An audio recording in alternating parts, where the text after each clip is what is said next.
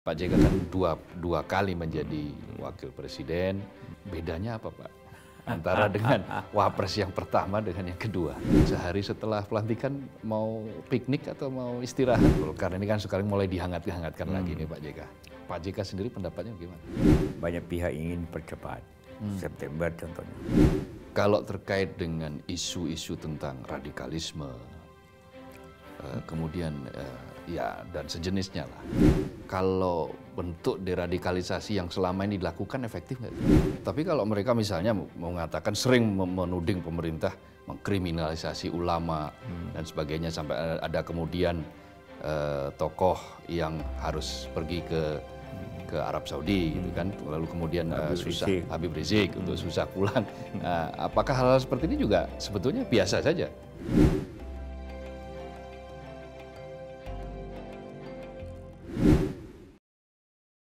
Jumpa lagi dengan saya Abdul Kohar di newsmaker medcom.id. Sobat Medcom, ini sekarang kita sedang berada di kantor Wakil Presiden Republik Indonesia. Karena itu kita akan mewawancarai secara eksklusif dengan Wakil Presiden Republik Indonesia, Bapak Yusuf Kala. Nah, apa saja yang akan dibicarakan? Banyak. Kita akan bicara setelah jadi Wapres, Pak JK mau ke mana? Lalu kita juga akan membicarakan bagaimana postur kabinet sebaiknya ke depan dan menteri-menteri seperti apa yang harusnya dipilih oleh uh, menteri apa oleh presiden terpilih ke depan. Lalu juga bagaimana pandangan Pak JK terhadap Golkar, pandangan Pak JK terhadap kasus Habib Rizik atau tuduhan kriminalisasi ulama. Pokoknya pantengin, simak wawancara saya dengan Yusuf Kala. Sobat Medcom, bersama kita sudah hadir Wakil Presiden Republik Indonesia Bapak Haji Yusuf Kala. Pak JK, apa kabar Pak JK? Baik, Alhamdulillah. Alhamdulillah sehat Pak JK ya? ya sehat, uh, sehat. Semakin mendekati hmm. apa namanya selesai purna tugas, uh, semakin padat atau semakin Iya, tetap banyak biasa banyak apa kegiatan-kegiatan. Ah, termasuk Tapi kemarin, interview juga banyak. Oh, interview tiap hari semakin banyak ya. ya. Ya kemarin kan ada pameran juga itu hmm, yang di ini. Iya. Uh, terus beberapa saat yang lalu kan Pak JK mengantar Pak Ma'ruf Amin. Hmm. Apa saja tuh Pak yang di apa maksudnya apa itu tujuannya itu? Oh pertama saya undang Pak Ma'ruf Amin ke si kantor ini untuk yeah. Ya. uh, membrief tentang apa itu tugas-tugas uh, wakil presiden, apa yang harus dapat dikerjakan dan bagaimana caranya, hmm. dengan bagaimana posisinya, dan juga isu-isu yang berkembang pada dewasa ini yang harus diselesaikan. Hmm, jadi kalau dulu Pak JK dari awal belum pernah ada hal model-model seperti ini. Ya, ya kalau saya sendiri, ya. karena saya itu punya uh, rintetan atau mulai dari menteri, menko, wapres, ya saya sudah ter, sudah tahu tugas-tugas pemerintahan. Hmm. Oh iya, sebelumnya jadi menteri sebelumnya pernah jadi menteri. menteri Menko, jadi bertahap lah. Bertahap. Kalau Pak Mauro Ami kan baru dari pemerintah langsung jadi wapres. Iya betul. Kan? Jadi oh. perlu mendapat uh, pengalaman-pengalaman. Hmm, kalau nah sini kan sebentar lagi nanti di bulan Oktober hmm. Pak JK sudah purna tugas. Hmm mau pulang kampung lagi? Atau? kampung saya sudah Indonesia. Oh, jadi, jadi jangan salah tafsir ya. ya jadi ya, bahwa ya, kampungnya Pak JK ini seluruh Indonesia iya. di mana pun ya, kampung. Ya. Kegiatan uh, utamanya apa Pak JK nanti? Ya ke, kembali urusan sosial uh, dengan PMI dan lain-lainnya, kemudian uh, pendidikan saya. Hmm. Uh, Dewan Penyantun atau Wali Amanah di banyak universitas di Indonesia, hmm. urus keagamaan di Dewan, Dewan Masjid, Masjid ya. dan uh, uh, pengalaman saya waktu jedah jadi wapres itu banyak diundang untuk memberikan ceramah, ya, betul. kuliah umum ya. di banyak tempat di ya. universitas atau di lembaga-lembaga lain. Termasuk misalnya peran-peran internasional Mungkin, ya, mungkin. dulu juga saya uh, contohnya uh, banyak organisasi yang mengundang jadi uh, pengamat pemilu contohnya di banyak negara. Yeah. Ya. Uh, atau ada masalah-masalah perdamaian selalu Betul. ingin uh, diberikan pandangan atau nasihat malah di Ya. beberapa negara. Ya, ya. Nah, ini peran-peran seperti itu masih tetap akan dimainkan ya? Iya insya Allah itu kan uh, ya hidup ini harus bermakna lah. Ya, ya. Apa paling paling baik bagi manusia yang lain. Nah, sekarang kita bertanya nih, Pak JK kan dua dua kali menjadi wakil presiden dengan dua presiden yang berbeda. Bedanya apa, Pak? Antara dengan wapres yang pertama dengan yang kedua. Sama-sama mempunyai kelebihan, kelebihan-kelebihan dan cara berbeda-beda walaupun cara berbeda-beda. Kalau zaman Pak SBY itu ada semacam pembagian tugas saya dengan beliau. Ya, Saya lebih banyak mengurus eh, masalah-masalah ekonomi atau masalah kesejahteraan, ya, ya. em, juga masalah perdamaian contohnya. Kalau sekarang itu semuanya kita rapatkan. Jadi apa pun isu-isu oh, mulai dari besar sampai kecil itu dirapatkan. Jadi kita ambil keputusan bersama. Ya, ya, ya. Mulai dari masalah-masalah ekonomi besar sampai urusan sampah gitu kan. Oh, iya iya. Jadi apakah karena itu maka dulu itu kan Pak JK sering orang menyebut Pak JK itu bukan RI 2 tapi RI satu setengah. Lalu kemudian sekarang ah, sekarang kembali normal menjadi RI 2. Kalau ada pendapat seperti itu gimana? Iya bisa saja, bisa saja. Walaupun seperti saya katakan tadi, eh, salah satu ciri kepemimpinan Pak Jokowi itu ialah kolektivitas. Kolektivitas. Iya, jadi eh, diambil keputusan secara kolektif. Hmm, Jadi yang dulu pembagian tugas, sekarang kolektivitas. Iya, iya. Lebih efektif mana? Ya tergantung keadaannya. Dua-duanya bisa efektif. Ya, ya. Tapi berbeda. ba- zaman dulu lebih cepat. Nah, kalau bagi Pak JK kan dulu Pak JK bahkan sering disebut JK itu singkatan dari jalan keluar, Ya. gitu kan karena eh, beberapa persoalan eh, bisa diselesaikan secara cepat. Nah, kalau kali ini apa persoalan yang yang belum diselesaikan secara cepat itu agak kesulitan diselesaikan secara eh, kondisinya berbeda.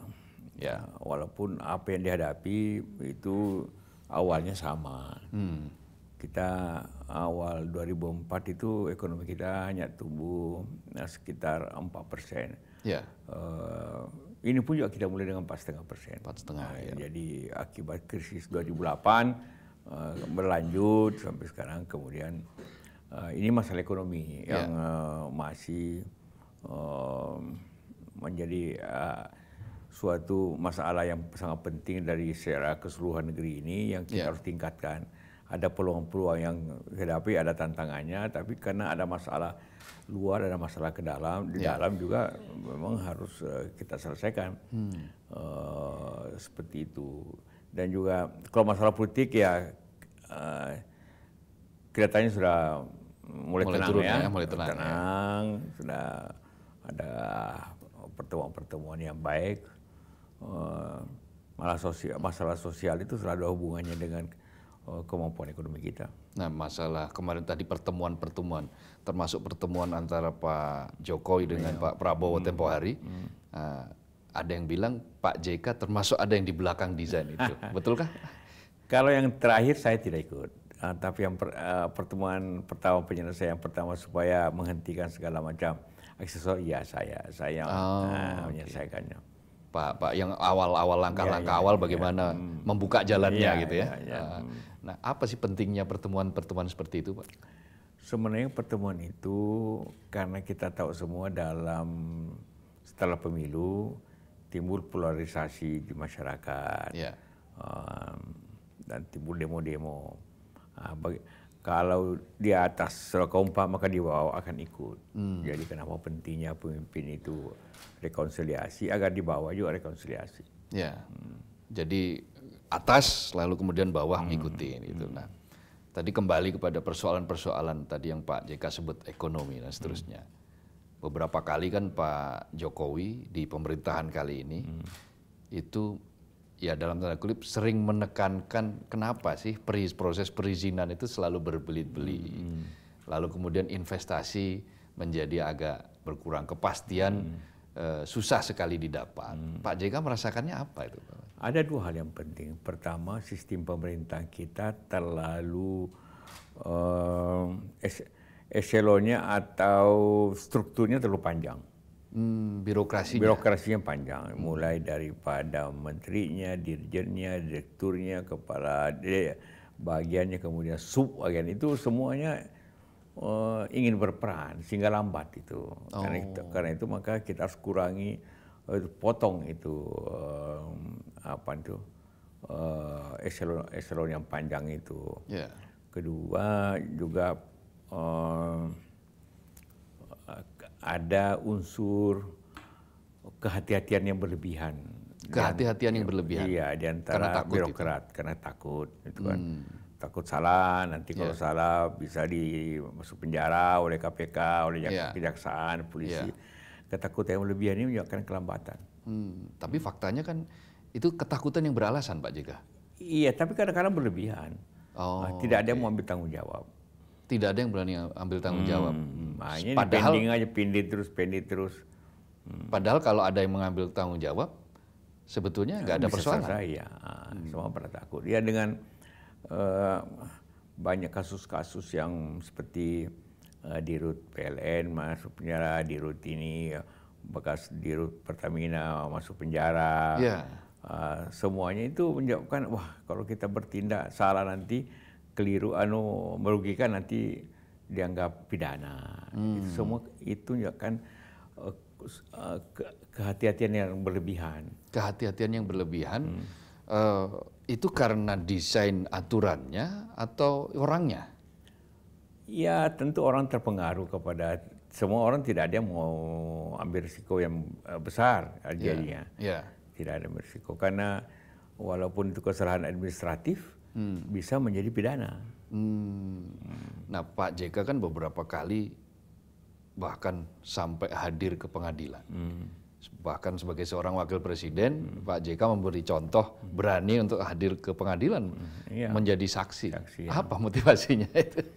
Pertama kalau saya yakin ya Ya. bahwa eh, teman-teman itu atau bekas eh, saya punya bawahan Ya. itu dikriminalisasi dengan menurut pandangan saya tidak sepadan ya saya belain. Hmm, apakah itu bagian dari tadi itu untuk menghilangkan rasa takut Iya itu birokrat juga itu? berasa bahwa kita ada solidaritas. Hmm, Ya, contohnya seperti ada beberapa menteri eh, hanya karena eh, melanggar a- aturan keuangan, ke- kemudian aturan itu sudah dicabut, tapi masih dikenakan hukuman. Ya, itu saya eh, ke pengadilan. hmm. Apa setelah Pak JK ke pengadilan ada efeknya nggak Pak? Ya tentu saja, tapi ada yang dikurangi, ada ya juga tetap aja hukumannya. Hmm. Kayak Jerowaci dengan Surya Dharma, ya permohonannya tidak dipenuhi itu. Hmm. Walaupun saya jadi saksi, saya sayangkan juga karena eh, saya menjelaskan eh, hal-hal yang menurut saya tidak melanggar. Hmm. Nah, Pak JK kan peran Pak JK di politik juga nggak tidak kalah besar dibanding dengan di ekonomi. Peran Pak JK sekarang di Golkar. Nah, Golkar ini kan sekarang mulai dihangat-hangatkan lagi nih Pak JK. Eh, dengan Munas dan tawaran Munas yang dipercepat. Pak JK sendiri pendapatnya gimana? Pertama saya bukan pengurus Golkar lagi sehingga saya tidak punya eh, hak suara ataupun kema- mengambil keputusan atau turut mengambil keputusan dalam ini. Jadi saya eh, menyerahkan semua ke pengurus yang lama. Tapi Golkar itu atau partai lain pun kalau menjelang Munas atau Kongres ya selalu eh, muncul kelompok-kelompok yang bersaing satu sama lain karena ya tentu ketua umumnya satu tapi yang ingin bisa tiga empat orang timbullah persaingan-persaingan yang keras dengan Iya. segala macam Iya. ada yang saling menjatuhkan Ya. Tapi Pak JK kan bagaimanapun kan juga sesepuh Golkar lah ya. Nah, yang didengar keterangannya dan di- didengar suaranya gitu kira-kira kan dimintai petunjuk juga. Sejauh Pak Juk pandangan Pak Golkar, eh, Pak JK sebagai sesepuh Golkar, yang sekarang ini sudah on the right track atau perlu dikencangkan lagi? Perlu juga kita mengapresiasi, walaupun berapa bulan sebelum pemilu, Golkar itu mendapat eh, goncangan luar biasa karena ketua umumnya, ya. mantan sekjennya, uh, dan banyak beberapa pengurus lain masuk penjara karena ya, korupsi. Ya. Uh, tapi uh, Golkar tetap mencapai apa itu uh, suara ya? suara yang cukup uh, baik. Peringkat ketiga malah ya, uh, dari secara suara. Hmm. Jadi artinya apa pun itu juga patut diapresiasi. Iya iya iya. iya. Nah kalau ada yang misalnya tadi Pak Pak JK kan pernah mengatakan ya kan Munas aslinya masih Januari 2020. Hmm. Kenapa nggak sabar menunggu? Lebih hmm. strategi sekarang atau 2 Januari sebetulnya? Sebenarnya uh, itu sederhana melihatnya. Yeah. Banyak pihak ingin percepat. Hmm. September contohnya. Itu kan jelas. Yeah. Siap kalau September siapa yang menang dia akan menentukan siapa jadi menteri, siapa menduduki jabatan ah, nanti bulan Oktober. Yeah. Itu aja temanya oh. pasti orang percepat. Tapi saya katakan ya harus sesuai aturan dong. Hmm. Karena munas ya dulu Desember ya aku Desember juga. Oh, sesuai aturan hmm, itu aturan sebetulnya hmm. lebih lebih aman, hmm. lebih strategis. Hmm. Nah, bicara soal kabinet, hmm. uh, kalau Pak Jokowi nanti misalnya meminta saran Pak JK, Pak JK siap memberikan masukan kah? Ya tentu kalau diminta ah, berdasarkan pengalaman. Hmm. Kita kan berpengalaman bersama dan juga mempunyai uh, pandangan ataupun uh, informasi tentang uh, siapa-siapa yang pantas, yeah. uh, mempunyai kemampuan, mempunyai track record yang baik, yeah. itu kan uh, dibutuhkan untuk menyusun kabinet hmm. dan juga strukturnya kita sumbangkan pikiran seperti yeah. itu. Nah kalau untuk ke depan ini Pak, apa yang harus segera segera di ini oleh kabinet ke depan di langkah berdasarkan review kali ini? Ya siapa pun akan menduduki uh, menteri-menteri dalam kabinet akan datang, ya harus menaruh perhatiannya utama bagaimana uh, membangkitkan ekonomi kita lebih hmm. baik lagi, bagaimana tumbuh lebih baik lagi, dan bagaimana uh, solusi menghadapi uh, ekonomi dunia uh, seperti ini ada yeah. perang dagang antara okay. China dan uh, Amerika, Amerika yang tentu punya ya. Uh, ke ekonomi kita. Hmm. Nah, sampai seberapa jauh kira-kira proses percepatan tadi kan Pak JK kan bilang cepat cepat cepat hmm. dulu bisa cepat hmm. sebetulnya ukuran cepat itu bagaimana Pak JK kalau kabinet itu tidak perlu ada kan batas deadline-nya yeah. 20 Oktober yeah. setidak-tidaknya tanggal 20 Oktober atau 2-3 hari setelah itu kabinet harus ter tersusun kabinet nah, ya kabinet setelah itu harus mengatasi masalah-masalah seperti yang katakan tadi masalah ekonomi oh, mungkin masalah politik tidak terlalu masalah lagi, tapi khususnya ekonomi sosial ya kita harus selesaikan. Sat, 100 hari gitu? Uh... Ya sekarang orang tidak banyak memakai 100 hari lagi karena yeah. penyelesaian masalah-masalah itu uh, juga punya program jangka panjang. Pak JK waktu awal jadi wapresnya Pak SBY, hmm. uh, dulu di awal-awal hmm. Yang mengusulkan pembagian tugas itu siapa? Nah, itu kesepakatan kami berdua.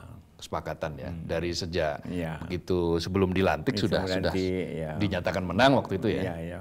Langsung ada iya, kesepakatan. Ya, supaya lebih efisien. Nah, waktu awal-awal itu apa yang Pak JK langsung lakukan dengan ketika menstabilkan begitu? anggaran hmm. dengan uh, menurunkan subsidi karena itu awalnya menaikkan BBM memang agak uh, apa itu banyak mengalami tantangan, tapi tidak ada cara lain untuk mengamankan anggaran kita, hmm. mengurangi subsidi, mengurangi uh, menaikkan harga BBM, yeah. kemudian uh, bagaimana uh, perdagangan jalan, ekspor jalan, yeah. investasi jalan, itu yeah. itu itu intinya. Nah persoalannya kan ternyata masih sama pak. Sama, sekarang. sama. Nah sekarang hampir kan sama, tinggal keberanian. tinggal keberanian. Nah, sekarang kan account defisit kita kan juga terdipicu dari I- Iya antara impor lain. minyak antara lain kan seperti itu. Nah, Karena, mu- keberanian karena murah harga minyak dibanding dengan negara lain di sekitar kita, maka orang cenderung untuk uh, agak boros ya dan akhirnya kalau boros makin banyak konsumsi, makin banyak impor, makin banyak subsidi. Hmm. Nah ini kan sudah menjadi mereknya Pak JK lah kira-kira gitu soal BBM dari awal tentang keberanian ini. Kira-kira melihat track record ya ini Pak Jokowi kan periode kedua di beberapa kesempatan juga mengatakan saya sudah tidak punya beban politik sehingga saya akan berani. Nah menurut Pak JK kira-kira Ya, saya saya yakin Pak Jokowi eh, berani itu. Dulu juga pada itu awal pemerintahan 2000 eh, November 2014 kita naikkan juga BBM kan. Iya betul. Nah apakah sekarang masih perlu itu? Masih karena subsidi kita sekarang lebih 200 triliun. Masih ya. Masih. Berapa angka Sehingga yang anggaran ideal? pembangunan kita anggaran itu hanya di atas 100. Jadi lebih Hmm. banyak biaya subsidi energi dibanding dengan biaya pembangunan lainnya. Itu Mestinya kan tidak nih? tidak tidak apa itu sinkron itu tidak tidak tidak bukan suatu tanda-tanda yang baik. Hmm. Mestinya subsidi itu di angka berapa sih Pak? Ini yang Ya tergantung besaran anggarannya. Kalau sekarang itu mungkin subsidi secara keseluruhan ya kalau 150 T itu juga cukup baik. Masuk akal ya. Nah Pak JK kan di beberapa kesempatan juga tidak segan untuk bicara terbuka, bahkan berbeda pendapat dengan Pak Jokowi atau publik menganggap berbeda pendapat, Iya. bahkan berbeda pilihan. Kenapa Pak JK? Ya, ya setiap kita mempunyai pilihan-pilihan, keyakinan pilihan yang baik. Uh, tapi uh, juga punya manfaat. Ya dulu cuma mungkin yang dimaksud itu waktu pemilihan gubernur DKI. Nah, misalnya. Eh, misalnya saya berbeda Pak Jokowi dan itu punya efek baik. Hmm, Hmm, tidak ada soal ya. tidak ada soal, semua nyaman. dan dan itu tidak mempengaruhi apa misalnya kinerja dan di pemerintahan Nggak, nggak, nggak. nggak ada ya Nah, termasuk ketika men-challenge untuk pemilihan presiden Pak JK juga all out ya Ya, ya, ya. mem- mem- mendukung Pak Jokowi Iya, saya termasuk tim eh, walaupun pembina Ya. yang memberikan nasihat-nasihat kepada eh, TKN ya. Itu. nah sekarang kan Pak Jokowi eh, Pak Pak JK tentu punya lingkungan yang punya harapan lah ya, punya harapan untuk kabinet mendatang. Eh, apa harapan yang paling utama Pak JK perlu sampaikan kepada presiden dan wakil presiden terpilih? Ya pertama kabinet itu yang terdiri daripada menteri-menteri harus dipilih yang mampu bekerja dan mengetahui eh, kerjanya, bidangnya. Itu harus. Ya ikan itu dimasuk kabinet kerja yang profesional. Ya, walaupun juga tentu kombinasi antara menteri dari partai dan menteri yang di luar partai yang dianggap lebih profesional.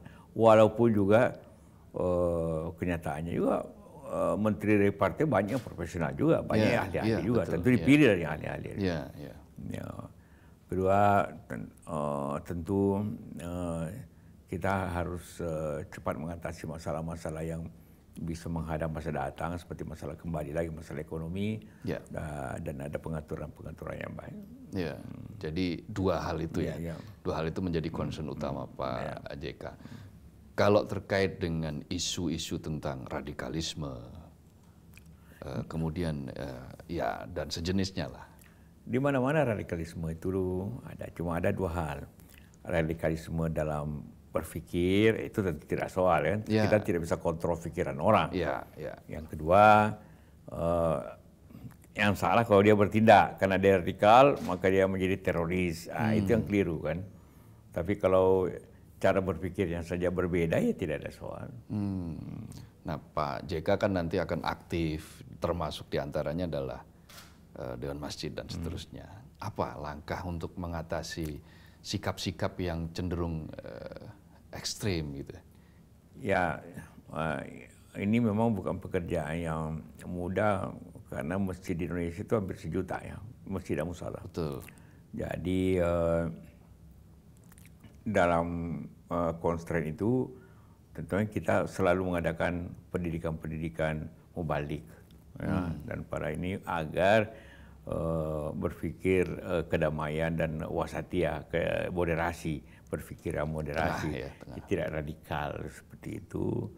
Uh, kita berusaha seperti itu di samping melayani uh, masyarakat umat yang baik agar ibadahnya lebih baik. Hmm.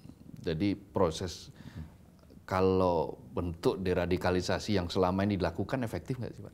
Iya ada berhasil, ada yang tidak. Buktinya kalau kita lihat daripada efeknya kan radikalisme masuknya ujungnya ke teroris, artinya hmm. bertindak keras. Ya. ya. Kita alhamdulillah berkurang dari tahun ke tahun. Hmm.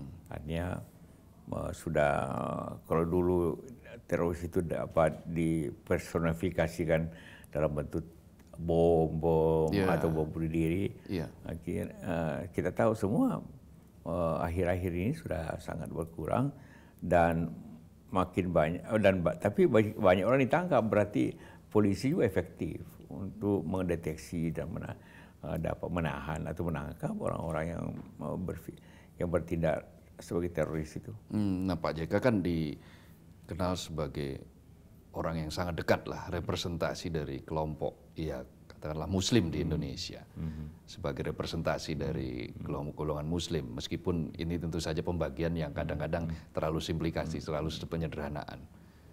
Nah pesan Pak JK juga untuk kaum Muslim ini yang paling penting apa?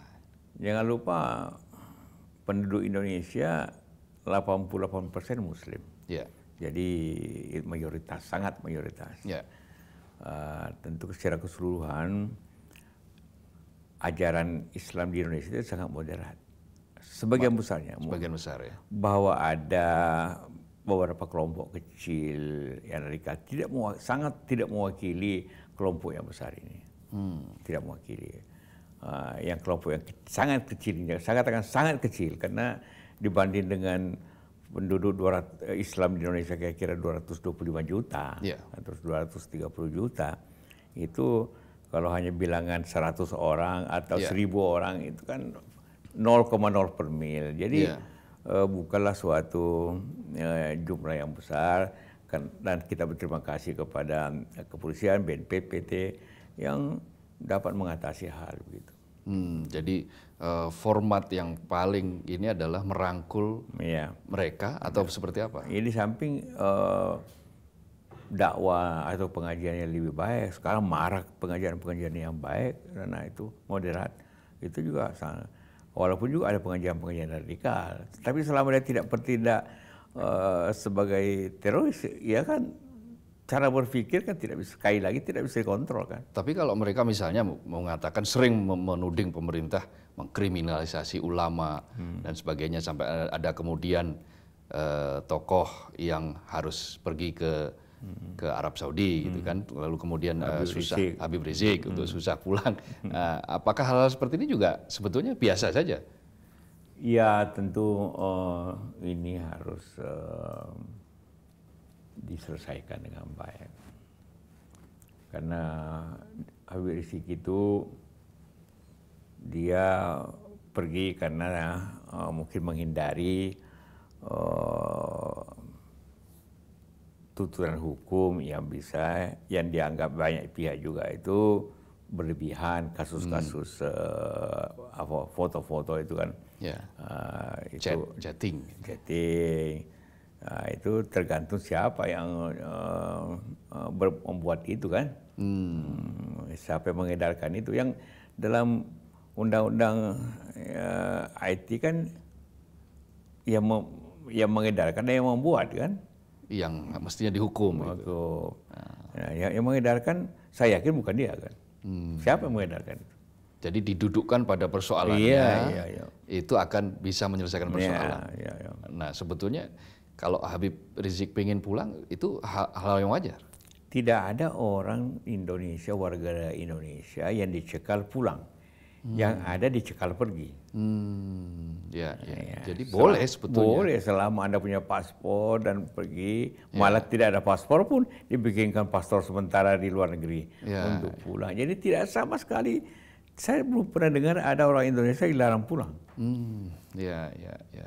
Yang tidak boleh itu dicekal pergi. Hmm, Kalau kalau ada perkara, disebut ada misi menghalang-halangi, tidak betul itu ya? tidak betul. Tidak betul ya. Jadi silakan pulang sebetulnya, Ya, tetapi pulang. selesaikan secara prosedural. Iya, ya. Hmm. Nah, nah, ini sekarang nih terakhir Pak JK. Pak JK kan pasti keluarga sudah menanti nih nanti eh, apa nih sehari setelah pelantikan mau piknik atau mau istirahat atau mau ke Makassar? dulu, istirahat, istirahat dulu. Ya. Eh, ya mungkin cari tempat yang eh, enak untuk istirahat, kumpul cucu-cucu. Oke. Kemudian setelah itu ya kembali kegiatan-kegiatan seperti saya katakan tadi, Hmm. sosial, keagamaan, pendidikan, dan tentu juga memberikan sharing eh, pengalaman dengan eh, masyarakat Terhadap- apa di kampus di mana-mana. Kiprah politik mungkin? Lah. Enggak ya? Enggak, enggak terlalu ini ya. Ah, baik, mudah-mudahan Sudah lewat sudah lewat ya. Sudah kan saya sudah mencapai puncak ketua partai. Iya, betul. Udah aktif di pemerintahan secara politik. Iya, Cukup lah. cukup Beri ya. kesempatan yang mudah-mudah.